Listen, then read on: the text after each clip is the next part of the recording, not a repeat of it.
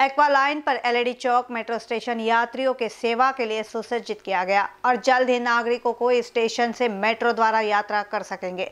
LED चौक एक्वालाइन मार्ग पर आठवा मेट्रो स्टेशन तैयार है।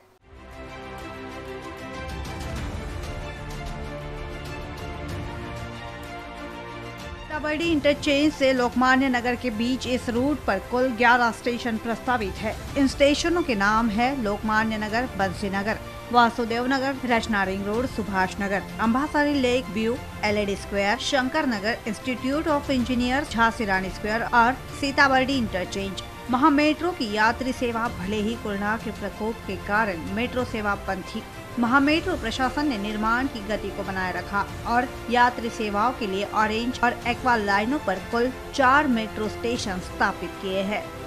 बीसीएन न्यूज़ के लिए क्षितिजा देशमुख की रिपोर्ट।